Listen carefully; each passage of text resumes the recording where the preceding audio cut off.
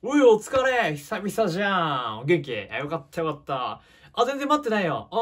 まあ、10分15分くらいしか待ってないから。うん。全然大丈夫、全然大丈夫。うん。気にしないし気にしない、マジで。うん。まあでもな、一応俺先輩だからな。あまあ次から気をつけた方がいいかなと思うけどね。うん。あ、全然いいよ、全然。うん、いいんだけどさ。うん。で、どうしたのよ？最近の久々じゃん。珍しいじゃん、なんか誘ってくるなんて。なんか相談でもあったうん。あ、その最近しんどいんだ。え、何が何が？あ、勉強なえ、学科どこだっけ？あ、そうか、大科だ、大科。科学な。科学系はやっぱしんどいって言うもんな。あ、レポートとかやばいんだ。そっかそっか。あ、もうやめたいレベル。マジか。そっか、しんどいもんな。え、でも実際はやめないでしょ。うん。やめないよな。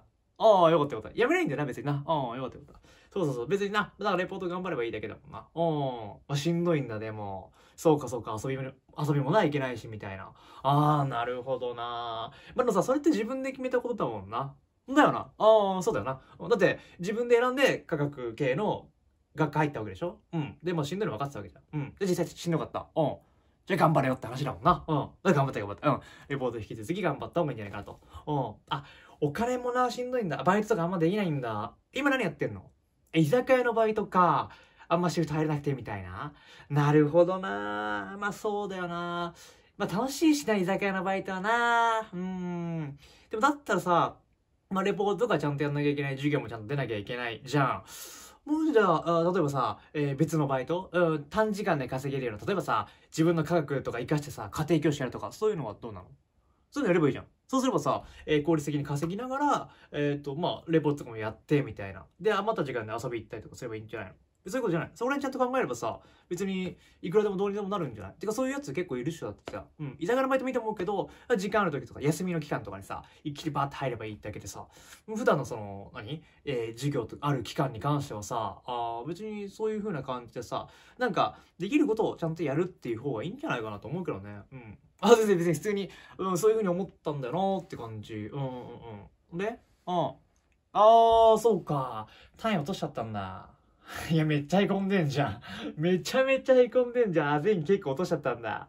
そうか、そうか。え、レポート？ああ、レポート出せなかったの？え、それ、レポート出さなかった？自分が悪くない？うん。あ、別に別に。だって、レポート出ててさ、課題分かってさ、で、レポート出してないくて単位落としたんでしょ？え、それ自分が悪いじゃん。うん。レポート出せばいいじゃん。うん、普通に考えて。え、違う？まあ、ちょっと出ないよな。うん。そうそう、そう思うけどな。あ、テストも難かったんだ。テスト、え、でもみんな結構取れてるわけ？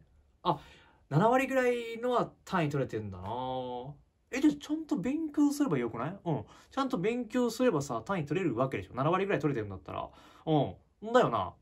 そうだよな。絶対。普通に考えて。うん。だ勉強しなかった自分が悪いってことだよな。うん。え、そういうことでしょ？難しいとかじゃなくて、勉強すれば取れるんだよな。だよな。お、じゃあ勉強しろよって話じゃん。うん。いや、まあもう全然全然。